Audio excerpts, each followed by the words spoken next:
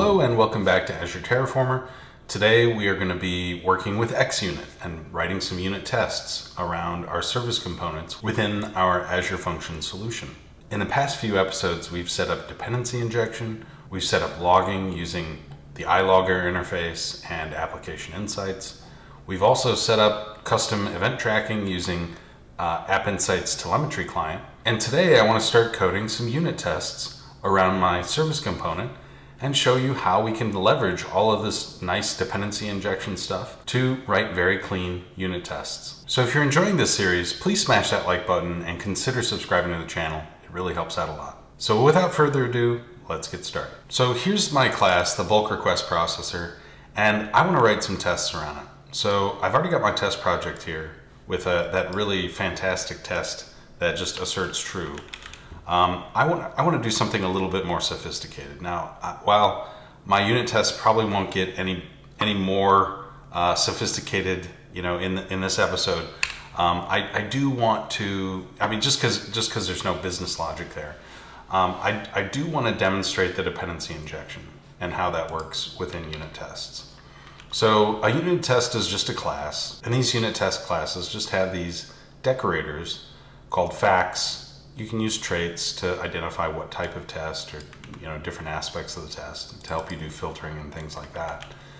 Um, but really, there's there's nothing special about a unit test class in XUnit. And so the first thing that I want to do within my unit test class, and typically what I do when I when I first start writing a unit test, I want to construct the object that I want to test. Now this this class looks like I don't even have that dependency there, so I'm going to have to add a project dependency and add my services there and after that's done, now I should be able to resolve this. Now, constructing this class is a little bit tricky. Why? Because I can't just use an empty constructor, because I don't have an empty constructor. Um, because dependency injection uses constructor injection, I've got a whole bunch of crazy constructor parameters that I need to pass in order to construct an instance of this object. So what do I do? Well, when writing unit tests, oftentimes you mock these resources uh, but in the case of this kind of middleware like App Insights telemetry configuration and the, my iLogger, uh, maybe there's a better path. So typically what I'll do with loggers is I want the log output uh, not just, to disappear or go, or go nowhere. I'd, I'd, actually like to see the log output um, in, in the XUnit test, test results panel, right? So in order to do that, I kind of have to set, set things up such that I can harness the iLogger interface, but channel the log activity to a place where it'll show up in the test results. Now XUnit does have a method for doing that, and it's called the iTestOutputHelper output helper interface. And luckily I can, I can inject that. Um, the XUnit frame, framework automatically injects that um, interface into my class. So I can call this output and now I am able to access, you know, this this uh, interface, an instance of this interface um, within within my unit test, and output basically, you know, just write line, right? So it's it's almost like console. Like system.console doesn't work in in XUnit. It won't output to your test results panel. Um, it outputs to console. So if you want to see what's happening within your code within the test results window, it's usually a really good idea to use this iTest output helper in order to do your logging. However, um, what the problem is when your code is running in production, you don't want your code to actually have references to the iTest output helper. Um, in fact, you don't even want your, your, your, your classes or your code to know about XUnit at all when you're in production. So how do we get around this? We get around this by using dependency injection. So there's a little trick where you can, because I'm using an iLogger, as long as I implement the iLogger interface, I can implement any class that I want and have it output my log information accordingly. So what I can do is I can de declare a class that implements the iLogger interface but instead of outputting it to App Insights or wherever you know it normally goes, I can have it write it to my iTest output helper. And in order to do that, um, I need to I need to implement that interface. So the first thing that I'll do right off the bat is I'll implement a new uh, concrete class that implements the iLogger interface. And I'll just call this the XUnit logger. And so the X unit logger, um, because it needs to implement the um, iLogger interface, I need to take a, a type parameter of type T. And I'm going to implement iLogger of type T. And so if I look at this, I'm going to use microsoft.extensions.logging. And this is, of course, going to be iDisposable. And because I don't write this from scratch every single time, I'm not going to bore you with those details. I'm just going to go grab my default implementation of this and I'm going to drop it in here. Um, there's lots of lots of different um, examples of this online, so I would recommend you to go check those out, gra grab a copy, and use it for yourself. All of them usually pretty much look the same. Basically, you know, it's it's a simple machine. You've got this iTest output helper and you're going to take this uh, base log method, which is the which is an internal method that is going to be used for all of those overloads like log information, log warning, log error, log exception, whatever.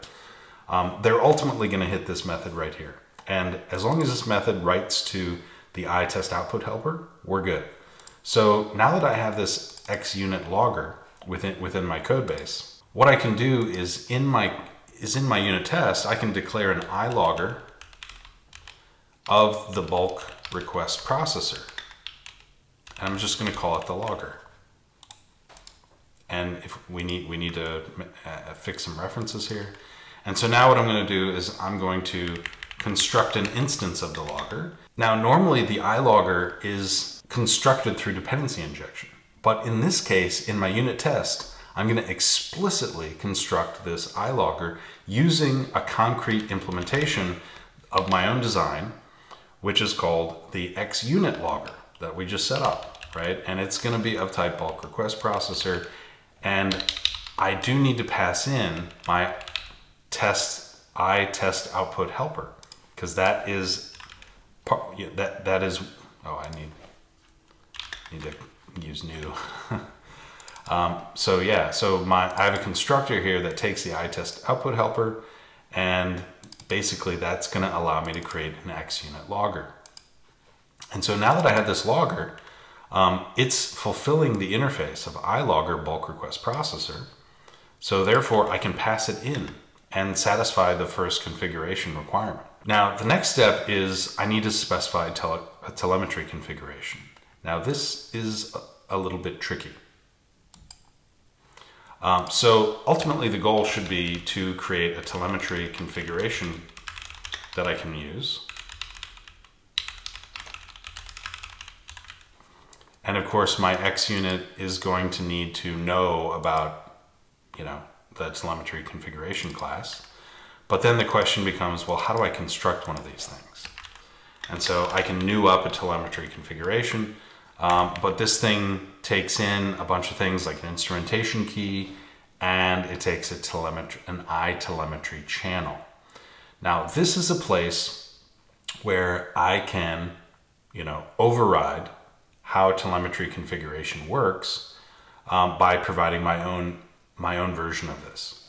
And so what I'm gonna do is I'm gonna go create a mock telemetry channel class and this class is basically going to do exactly what my XUnit logger was going to do, except it's basically just going to be a placeholder, right? Um, such that it does nothing. This is this is a this is a mock. It's a dummy. It does nothing.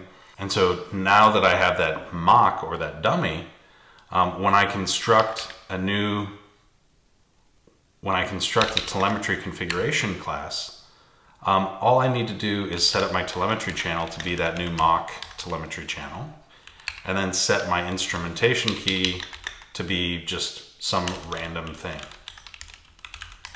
And as long as it's a string, we're happy. And so now I have a telemetry configuration with a telemetry channel and an instrumentation key, and therefore I can pass that in and everybody's happy.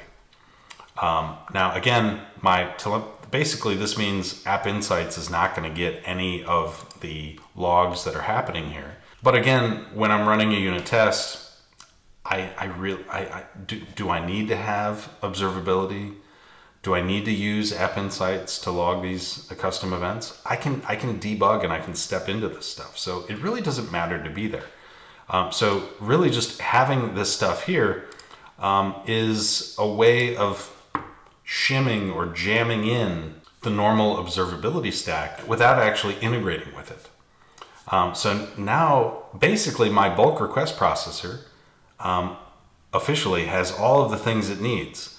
It has an iLogger, which is fake, that you know outputs to the XUnit iTest output helper, and then it has a telemetry configuration, which we can construct a telemetry client with, but that telemetry client is going to be an empty shell. It's anytime we call any of those track event, track availability, track metric, any of those things, anytime telemetry client is used, it's just going to do nothing, which is exactly what we want it to do when we're running our code in a unit test.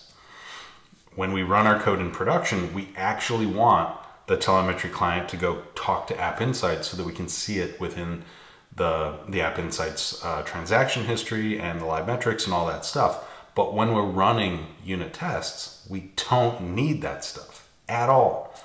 Um, so you could think of this almost as like a placebo. You're not taking the actual medicine, you're just taking a glass of water. The unit test won't know the difference. Your, your code running within the unit test won't know the difference. So this can save you a ton of time. And so now when I write my unit test, I can, I can call my method do something async, and I can wait for it to happen. And of course that returns an int. We'll just call this my number. And I'm pretty sure I know what my number is gonna be. It should be five. So I'm gonna, I'm gonna assert my number is equal to five. And I need to update my test to be an async operation. And I'm gonna run this test and we're gonna see what happens.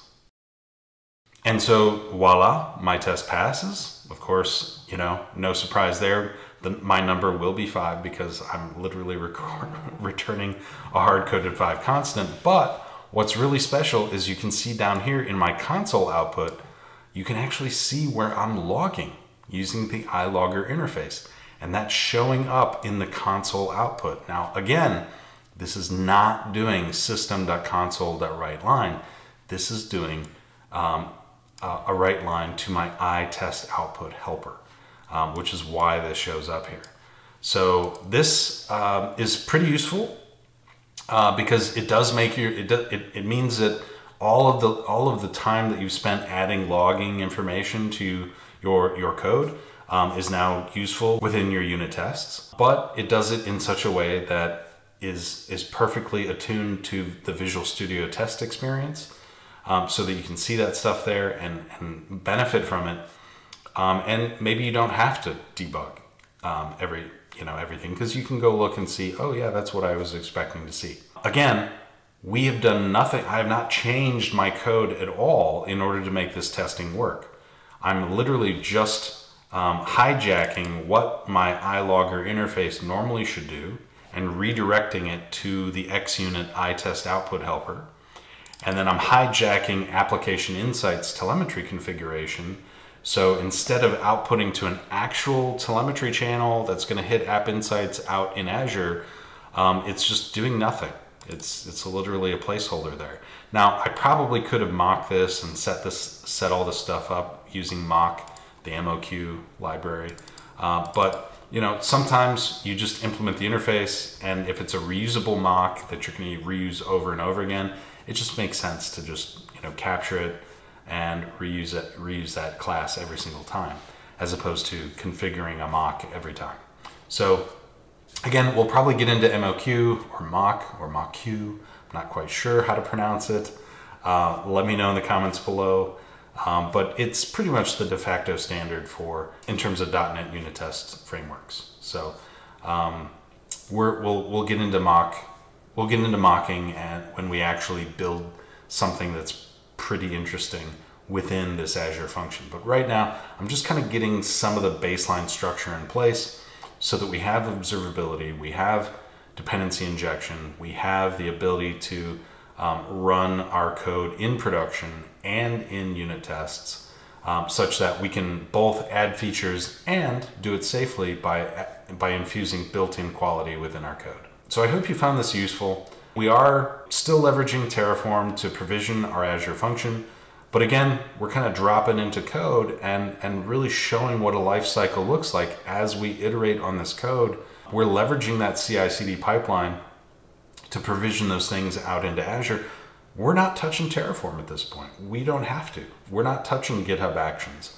All of that stuff is in place to enable us to iterate on, on, our, on our actual service code. So if you, if you like where I'm going with this, please smash the like button and consider subscribing to the channel. There's a lot more to come. Uh, I'm really looking forward to kind of demonstrating, you know, some more sophisticated architectures and how we build software for the cloud, um, and and int, and infuse that and infuse that with a Terraform enabled uh, CI/CD pipeline. So that's it for me. This is the Azure Terraformer. Until next time, signing off.